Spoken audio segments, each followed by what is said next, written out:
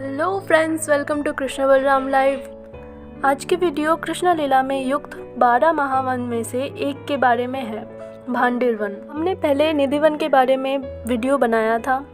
अब भांडिर वन के सारे लीलाओं के बारे में जानेंगे। धीरे धीरे सारे वन कवर कर लेंगे। कृष्ण लीला में युक्त महावन में पाँच वन ऐसे हैं जो यमुना नदी के मथुरा साइड में हैं।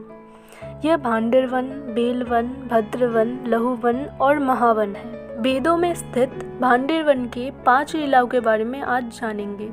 एकमात्र यही एक स्थान है जहाँ ब्रज में कृष्ण के हाथ में बांसुरी नहीं दिखती है। आगे बढ़ते हैं पहले लीला की तरफ़। यही स्थान पर श्री राधा कृष्ण का विवाह हुआ था। ब्रह्मा जी पंडित बने थे और नारद ने राधा रानी का कन्यादान किया था। अब जो आपको बोलेगा कि राधा कृष्ण का विवाह नहीं हुआ था, उसको ये वीडियो शेयर कर देना। ऐसे ही और वीडियो देखने के लिए चैनल को सब्सक्राइब करो and what are you waiting for hit the like button आगे बढ़ते हैं निधि वन की दूसरी लीला की तरफ़। यह भांडेर वन में मुंज बन हुआ करता था, मुंज का जंगल। यहाँ कृष्णा अपने गायों को लेकर उनको चढ़ाने के लिए आया करते थे। जब कंस के आदेश से राक्षसों ने भांडेर वन को जला दिया था, तब लीलाधारी कृष्ण ने वो आग पान कर लिया था। यह लीला कृष्णा आग पान लीला के नाम से प्रसिद्ध है। यही एक कम से कम पाँच हज़ार साल पुराना बट वृक्ष है। इसकी शाखाएँ इतनी बड़ी हुआ करती थी कि इसके शाखाओं में चढ़कर कृष्णा एवं गोप गोपियाँ यमुना पार किया करते थे। दुर्भाषा ऋषि भांडर वन में ही तपस्या करते थे। जब गोपिया ऋषि को भोजन देने आ रही थी, तब उन्होंने कृष्ण को पूछा, हम यमुना कैसे पार करेंगे?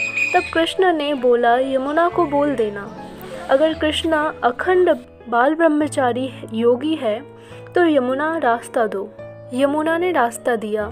फिर लौटते समय गोपिया ने जब दुर्वासा ऋषि से पूछा, हम यमुना कैसे पार करेंगे? तब ऋषि ने कहा, अगर दुर्वासा मुनि सिर्फ़ दुर्भ घास का भोजन करते हैं तो यमुना को बोलना कि रास्ता दे। यमुना ने तब भी रास्ता दिया। इसी स्थान में जब प्रलंबासुर गोप बालक बनकर उनके दल में शामिल हो गए थे, तब दाऊजी ने, यानी कि श्री बलराम ने प्रलंबासुर का हत्या किया था। ही भांडर वन में स्थित एक कुप है, जिस अमावस्या में सोमवार पड़ता है, उस अमावस्या में कुप का पानी सफ़ेद हो जाता है। यही पाँच लीलाओं के कारण भांडर वन दर्शनार्थियों को अपनी ओर खींच लेता है। आशा करते हैं, आप भी जब वृंदावन मथुरा दर्शन के लिए आएँगे, तब यहाँ ज़रूर आएँगे दर्शन हेतु। हरे कृष्णा, हरि बोल।